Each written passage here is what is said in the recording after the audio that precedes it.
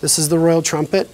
Um, typically, you can feel here it's a little bit more tender. Down as you get to the roots, uh, it can be a little bit more woody. Yeah, right um, here too, yes. especially the very bottom. So usually what we'll do is we'll actually just take that stem part off.